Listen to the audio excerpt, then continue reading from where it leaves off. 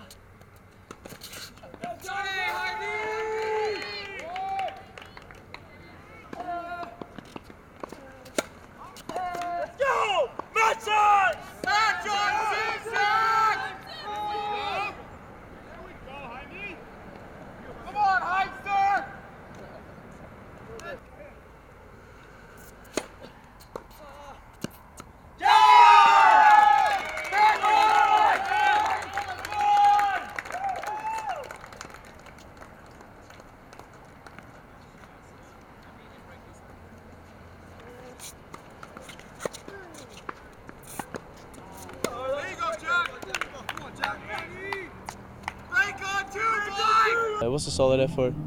Uh, through the whole match, I got a good start, and uh, I was able to, to, to hold it up. It's, it's tough, tough to lose a match 4-3.